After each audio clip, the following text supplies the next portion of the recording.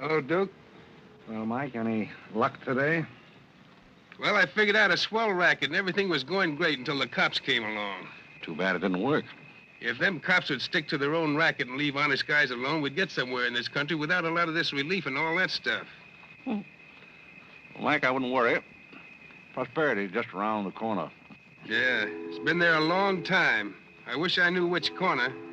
Well, hmm. Duke, I'm going to turn in. Bonsoir. Bonsoir, Mike.